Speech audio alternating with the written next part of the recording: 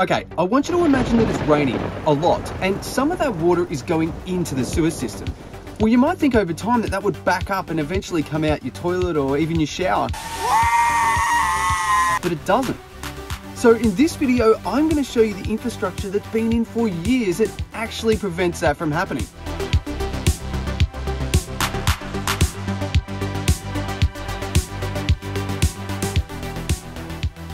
Uh, first I need to set up site because I'm kind of in a walking track. Uh, hey, who left that there?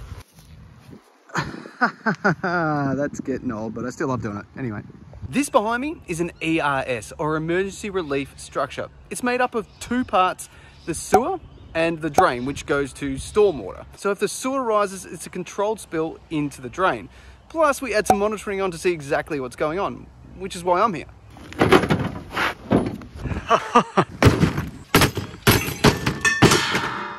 This is a wait, hang on. Ah, that's better. This is a new ERS, and I hope you enjoyed that transition because I had to get on the broom and everything. Anyway, this is a new monitoring station, and inside here is a hydrostatic level sensor that I need to verify.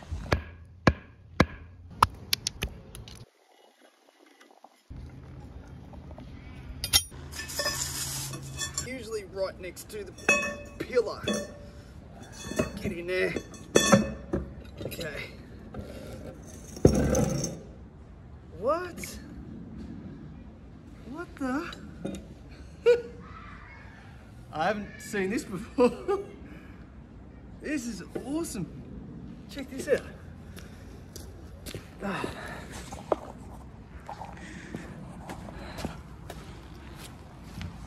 Check this out. This is not like a normal ERS drain. Looks like it's got some sort of screen that goes out. Obviously we've already got this thing here which stops us from falling. This in there is actually our level sensor. But what is that?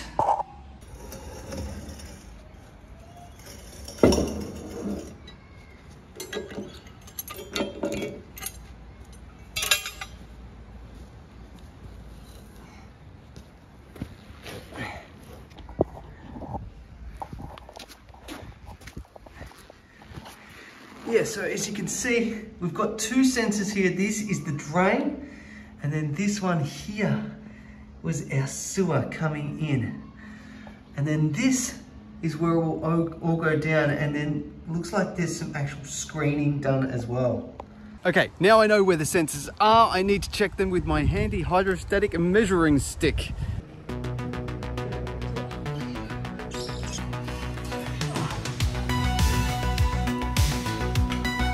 Okay, there we grab sensor out of the sewer.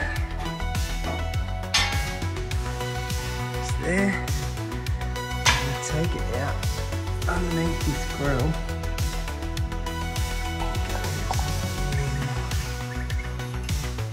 Just like that. Done.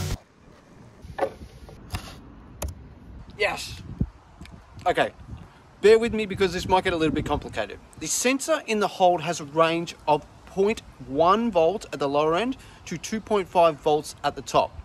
And the RTU that's going to receive that sensor is actually 0 to 5 volt range.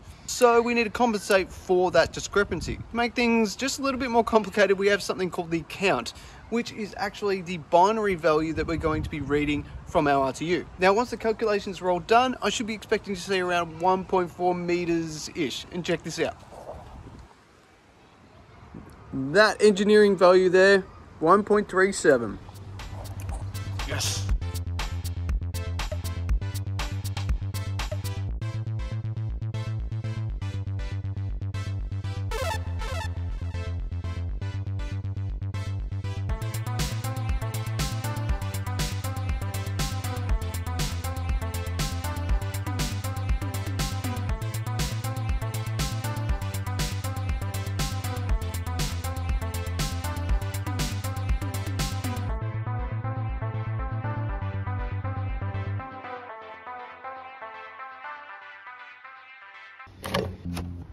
Pack up.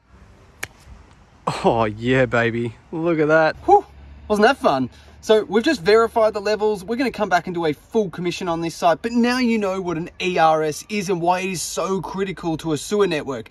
But you know what else is critical? Sand to trams. Anyway, I'll explain more about it here.